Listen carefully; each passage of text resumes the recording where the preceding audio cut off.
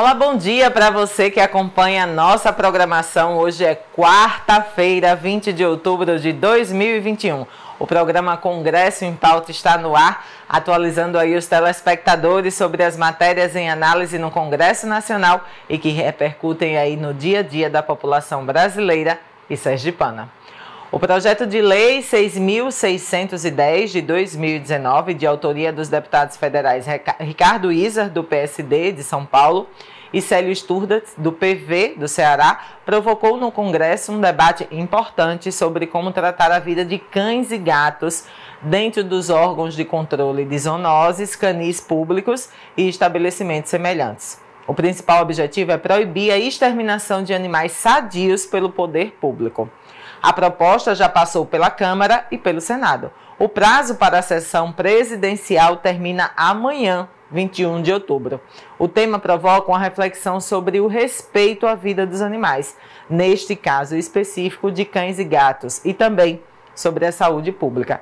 Para destrinchar o contexto e a importância desse projeto, nós vamos conversar com Rosângela Gebara, gerente do projeto da ONG Amparo Animal, com Cassiano Fernandes, médico veterinário e ex-coordenador do Centro de Zoonoses de Aracaju, e com a deputada estadual por Sergipe, Kitty Lima, que acompanha o andamento das pautas dos animais aqui no estado de Sergipe. Agora, né, vou conversar a nossa, o nosso debate aí, é, convidando Rosângela Gebara, da ONG Amparo Animal. Rosângela, seja muito bem-vinda aqui ao nosso programa. Obrigado por ter aceito aí o convite. Eu vou começar né, já com uma pergunta. Entre as décadas de 1970 e os anos 2000, o pavor das carrocinhas era um sentimento aí compartilhado pela maior parte das crianças. Todos sabem, né? do triste fins que cães e gatos abandonados nas ruas e apreendidos por esses veículos, né?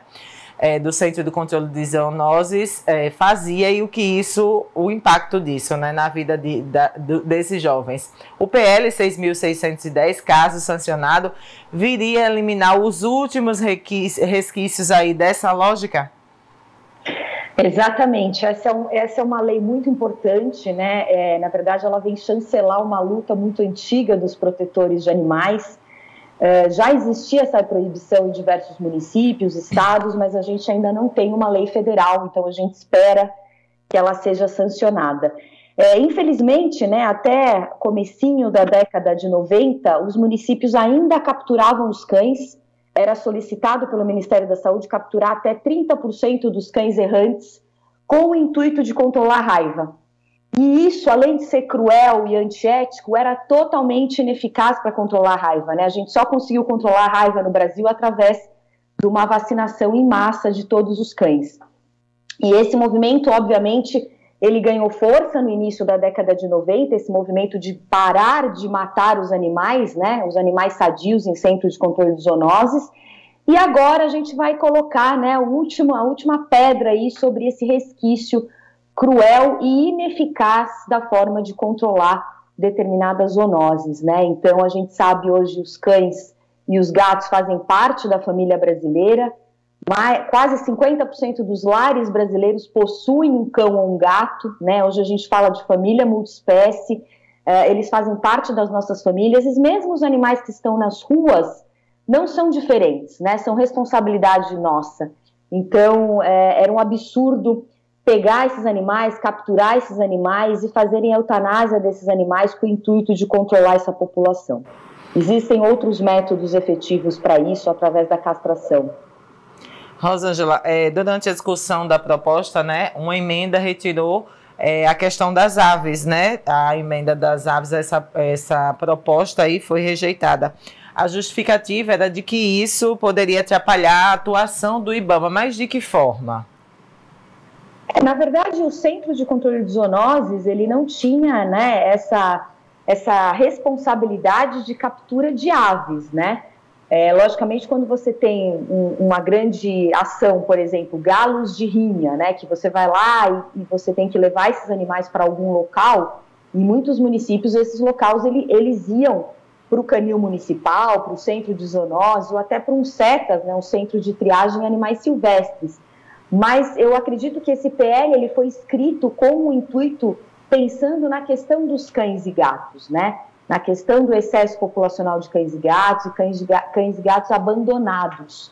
Mas nós temos leis, legislações específicas que protegem os animais, sejam eles as aves domésticas ou as aves silvestres. E aí eu acho que deve ter ficado de fora por conta do foco do PL original. Rosângela, uma das exceções aí, né, para eutanásia é o caso dos animais apresentarem doenças graves ou risco né, à saúde pública, né? É, com relação para esses casos, a proposta prevê que entidades de proteção animal tenham acesso irrestrito à documentação que comprove de fato aí que o animal apresente essa doença. É muito importante ter essa comprovação, até porque isso é bastante controverso, né? O que, que é uma doença infecto-contagiosa que causa risco à saúde pública? Obviamente, a raiva é indiscutível, né? O animal realmente com teste positivo de raiva, é, muitas vezes ele precisa ser eutanasiado, até por conta do sofrimento dele, né? Por conta do risco que envolve. Agora, nós temos outras doenças que aí a gente começa numa, numa discussão bastante complexa, por exemplo, a leishmaniose. Né? A leishmaniose é uma doença parasitária causada por um protozoário. Ela não tem cura, mas ela tem a remissão clínica. Você consegue fazer um tratamento no animal, consegue diminuir a carga parasitária desse animal e você consegue fazer com que esse animal não cause mais risco à saúde humana. Só que, obviamente, esse animal precisa de alguém responsável por ele, uma organização, uma pessoa que adote e seja responsável pelo tratamento dele. Então, eu particularmente sou contra a eutanásia de animais soropositivos para leishmaniose, desde que tenha condições de tratar esse animal. E caso um animal dentro de um centro de controle de zoonoses é, ele for ser eutanasiado por conta né, de uma doença infecto-contagiosa com risco de transmissão aos seres humanos, isso precisa ser muito bem documentado, muito bem comprovado, não é simplesmente com um teste. Então, isso ainda vai trazer bastante discussão né, acerca do que realmente é um caso que necessite de uma eutanásia dentro de um centro de controle de zoonoses.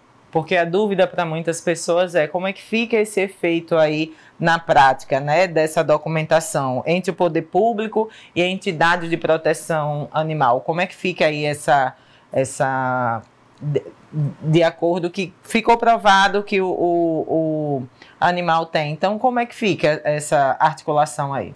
É um órgão público, né? O prontuário do animal, ele teoricamente também tem que ser público, né? Tem que ter tudo isso muito bem guardado, inclusive pode ser até uh, uma forma de fazer um prontuário online desses animais, né? Então, o que, que o animal tinha, qual foi o teste que foi feito, a data, o resultado desse teste, isso tem que ser público, né? Para trazer uma credibilidade, uma visibilidade e, obviamente, não só as ONGs têm que ter acesso, mas qualquer munícipe tem que ter acesso né? Então eu acredito que tendo um sistema de acolhimento desses documentos e sendo um órgão público, a documentação também tem que ser pública, tem que ser de acesso público. Óbvio que você pode seguir um trâmite para ter acesso a esse documento, né? Mas a gente tem a lei de transparência no nosso país e vários documentos públicos já estão à disponibilidade das pessoas desde que elas peçam isso de uma maneira oficial, né? Explicando porquê que elas estão pedindo essa informação. Rosângela, queria agradecer muito a sua participação e finalizar aqui a sua entrevista para que a senhora falasse aí a importância desse projeto de lei para a sociedade brasileira. Esse projeto de lei é muito importante, né? Eu acredito que ele vai ser sancionado e é um projeto que vem, como eu falei, chancelar, né, um anseio da sociedade. Os animais não são pragas, os animais uh, simplesmente não são coisas, né? São seres sencientes, merecem todo o nosso respeito e se os animais estão nas ruas, é por nossa responsabilidade, por nossa falha. Nós precisamos protegê-los. Então, eutanasiá-los não é a maneira de controlar a população de forma efetiva, sustentável, humanitária. Existem outros métodos e eu acredito que esse, é, é, esse projeto de lei sendo sancionado, ele vai colocar o Brasil no patamar de outros países também que enxergam os animais de forma diferente. Muito obrigada pela sua participação. Um ótimo dia de trabalho. E agora eu converso com a deputada estadual Kitty Lima e o médico veterinário Cassiano Fernandes. Sejam muito bem-vindos aqui ao Congresso em Pauta. Deputada, seja muito bem-vinda aqui mais uma vez. É, começo aqui a entrevista perguntando a, a Cassiano, né? Esse tipo de medida que visa a proteção animal, ela já está prevista numa resolução, né, que é a, 7, que é a 876 de 2008 do Conselho Federal de Medicina Veterinária. É, essa lei vem complementar, vem reforçar a resolução? Com certeza.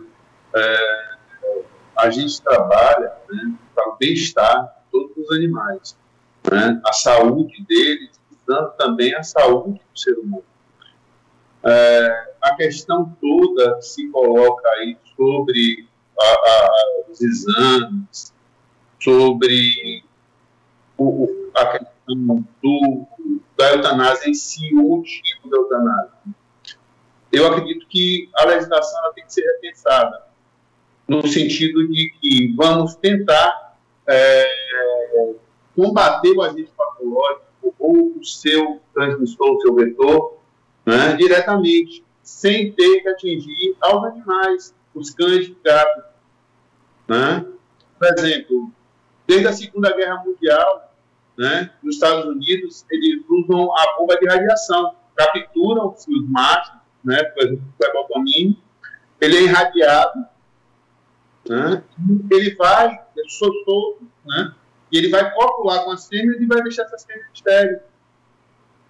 Então, tem uso de veneno, você não agride tanto a natureza, porque quando você joga fumacê, você joga veneno, você está contaminando tudo, você está contaminando o, o, lençol freático, você está é, é, tá contaminando a população, porque você está jogando veneno na cidade. Né? Então tem que ser repensado várias coisas. Eu concordo com a legislação, eu apoio, né? como ser humano, como médico veterinário e também como protetor, porque eu também sou protetor. Né? Eu acredito que a gente vai trabalhar e vai modificar isso aí, vai ajudar. Tudo que venha para somar vai ser bem-vindo. Cassiano, é, qual é a política que prevalece ou prevalecia aí no Centro de Zoonoses de, Aracaju com relação ao, ao abate e à eutanásia de cães e gatos? O Centro de Controle de Zoonoses de Aracaju, na época que eu comecei como coordenador, ele era proibido de custodiar e eutanasiar animais pelo Ministério Público. Isso aí foi solicitado pelo, pela própria Secretaria de Saúde do município. Né? Então, na minha época, na época trabalhei, não fazia esse tipo de procedimento. Tá? Apesar de ter casos de haver necessidade de se fazer, mesmo documentado, a gente não tinha como fazer. Né? Um animal com câncer já disseminado, espalhado, né? um animal caquético, sem ter condição de, de, de retorno, né? A, saúde dele, um animal é, é, é, é já apático, não anda, né? Então, totalmente debilitado. Então, é isso aí. Com relação, com relação a pra, qual é a prática, é, é, existe uma prática ideal né, para esse controle aí da população de cães e gatos? Na época que eu ingressei, foi colocado né, aqui na cidade de Aracaju o Castamóvel. Né? Ele foi inaugurado 10 dias, eu saí 10 dias antes de ser inaugurado. Foi exonerado.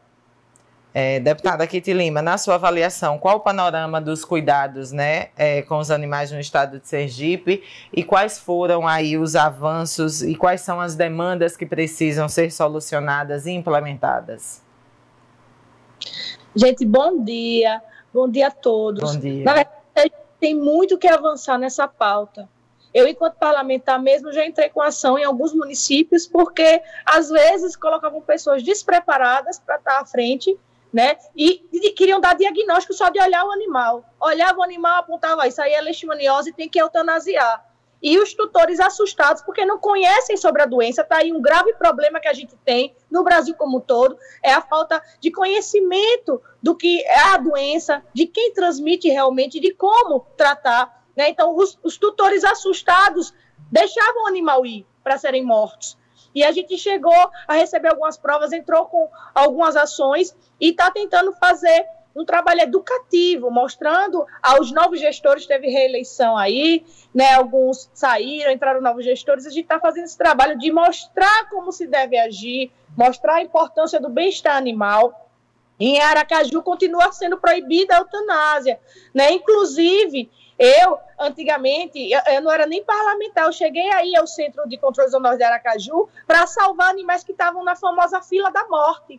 Inclusive, um dos meus animais, hoje a Lana, né, minha filha, ela estava na fila da morte, ela não tinha a leishmaniose, ela não tinha doença que era legado lá por eles, né? Então foram, na época no meu carrinho, a gente chegou a botar 11 animais dentro para retirar dessa fila da morte a pulso, era uma briga muito grande. E graças a Deus hoje não se tem essa prática e eu estou ansiosa para ver essa sanção. Inclusive, eu tenho animal de leishmaniose adotado, meu filho Valente, inclusive foi o doutor Cassiano que me ajudou a tratar dele. Ele é maravilhoso, nunca colocou nem a mim, nem a meu filho, nem a minha família em risco. Então, é um preconceito muito grande, às vezes por falta de conhecimento de como agir. Né? Então, a gente está aqui para, principalmente, levar educação e está brigando né, pelo direito de vida deles, que eles têm também.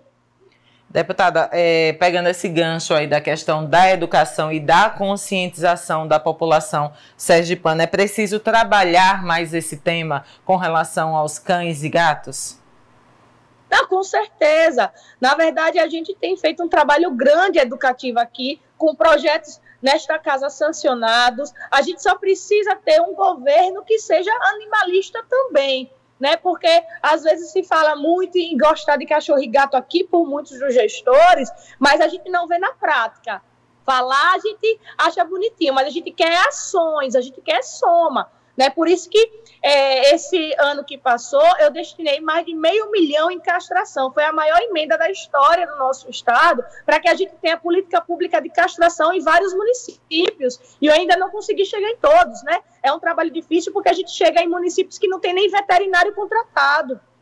É um, é um descaso tão grande aqui em Sergipe e tem município que não valoriza a importância de ter um profissional veterinário qualificado para estar tá ali orientando a população, educando perante as doenças e mostrando a necessidade de um bem-estar animal e de que toda vida importa. Né? Então, a gente tem que avançar muito ainda, a gente tem conseguido muitas vitórias. Hoje a gente tem 27 municípios sergipanos se preparando para iniciar as castrações com as emendas que vão chegar em minha autoria.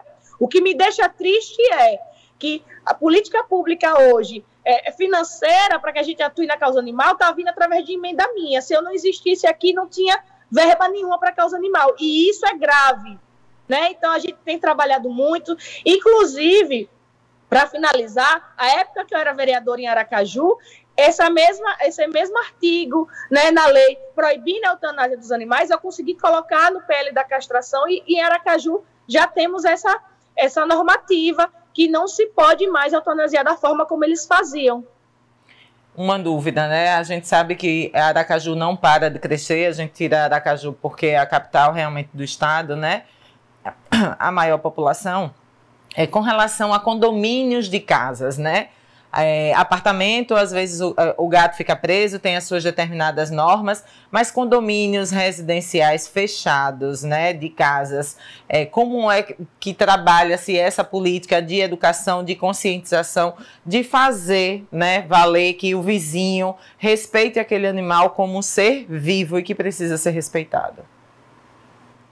Hoje o recorde de, de recados que chegam até mim é de condôminos que estão revoltados porque estão levando multas, porque simplesmente querem levar seu animal, é, é, é, ele caminhando. Tem condomínio que exige que se leve o animal no braço. É muito absurdo o que acontece aqui, né? E a gente hoje explica que, para além dos animais que têm os seus tutores, que tem que ter respeito, é um membro da família. Animais são membros da família. Eles têm todo o direito de estarem transitando com seus tutores ao lado, normalmente. Né? E a gente também tem é, é, a figura hoje do animal comunitário no nosso Código Estadual de Proteção Animal aqui em Sergipe. Foi o meu primeiro é, projeto sancionado nesse sentido, que para além dos animais com tutores, tem os animais que estão lá abandonados e que vão se formando colônias, muitas vezes felinas, né? E querem é, envenenar, né? Querem expulsar de alguma forma. E hoje a gente tem essa proteção animal comunitário também, e a gente entra com com a parceria para castrar esse animal, buscar uma adoção responsável. Então, aqui é um trabalho que não para, mas a gente vem avançando sim. Com relação a essa lei, né, a previsão de sanção é até amanhã. É, qual a expectativa, Cassiano, se essa lei for sancionada de fato, que o Estado de Sergipe possa implementar aqui?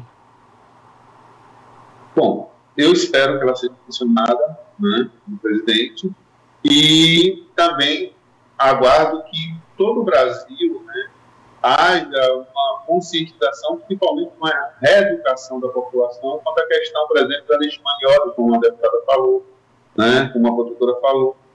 Mas a gente tem que entender o seguinte, por exemplo, o flebotomia só se multiplica em matéria orgânica em decomposição, então tem que ter resto de animais, resto de alimentos, né, plantas mortas, folhagens, tudo isso, pede, pode, vai ocasionar multiplicação do mosquito. Então, se tiver uma educação onde a eliminação desses é, é, é, dejetos corretos, né, a gente vai preconizar a não multiplicação também né, do mosquito. Deputada, avaliação da senhora, se sancionada. Ah, a gente está na expectativa porque vai colocar um certo receio principalmente dos gestores que a gente vê nos municípios sergipanos, de querer eliminar a vida. Para alguns, ainda é muito mais cômodo e fácil eliminar a vida animal do que realizar a educação né, para a causa animal, realizar o bem-estar, os cuidados, o tratamento. Então, a gente espera que com essa lei se repense a forma de agir com os animais aqui no estado, que eles entendam que é uma vida e que, por exemplo, é uma doença de mamíferos, a leishmaniose. Se uma pessoa que tem está transmitindo, ninguém pensa em eutanasiar a pessoa, né? Às vezes a pessoa pode estar tá passando, né, sem saber que tem a doença. Às vezes não é nem o, o cachorro, o animal ali é o culpado. Então, às vezes, a gente precisa entender um pouco mais desse cenário, explicar para a população, ter essa parte educacional e valorizar a vida. É isso que eu espero que com essa sanção se comece a ter, independentemente, eu já venho indo nos municípios, você vem acompanhando, né? Vocês vão acompanhando minhas viagens, eu vou falando sobre esse tema e mostrando como é que a gente pode estar tá agindo em benefício da população e dos animais. Né? É um ciclo. A gente precisa valorizar a vida humana, a vida animal, o nosso meio ambiente também. Então, eu venho fazendo esse trabalho já e a gente vê alguns municípios aderindo até porque os que não aderirem também, a gente busca a justiça, a gente busca nossos direitos. O importante é proteger os nossos animais e é para isso que eu estou aqui. Queria agradecer a participação de vocês aqui no Congresso em Pauta. Deixar aí 30 segundinhos de considerações finais para cada um. Cassiano. Bom, é, eu gostaria de agradecer pelo convite, né? Agradecer a, a, a participantes, tá? E que se reveja né, a parte de educação, é, não só em Aracaju, não só em Sergipe, mas em todo o Brasil, para que a gente possa efetivamente fazer um controle, né? a gente vai visar o bem-estar animal e, consequentemente, a gente vai ter o que? Saúde pública. Né? A gente vai estar trabalhando diretamente para o bem-estar da própria população. Né? Então, isso é que eu acho importante. Deputada? Ah, eu quero agradecer a todos que estavam comigo nesse debate importantíssimo, a vocês que levantaram esse tema. Eu sempre fico muito feliz, porque informação como essa é fundamental, né? E que é, é os gestores né, sergipanos entendam. A gente está aqui para somar e para ajudar a que a gente tenha bem-estar animal em todos os municípios. Mas se não for passeio, a gente já passou da época do meu início, de que eu ficava, pelo amor de Deus, por favor, vamos não. Agora a gente está falando de lei e lei se cumpre, né? Então vamos garantir que seja cumprida, seja com parceria ou não. O importante é salvar os nossos animais e as pessoas entenderem que toda a vida importa. Muito obrigada pela participação de vocês. Um excelente dia de trabalho. Chegamos ao fim de mais um Congresso em Pauta, mas lembre-se, se quiser acompanhar nossa programação pelas redes sociais, no Face e no Instagram é o arroba TVAlese 5.2. No Twitter, arroba TVAlese. Para acessar o nosso canal no YouTube, é só posicionar a câmera do celular no QR Code que aparece do lado esquerdo, no canto inferior da tela. Para entrar em contato com a nossa produção, mande um WhatsApp para 988528774. Eu espero vocês amanhã no próximo Congresso em Pauta. Até lá!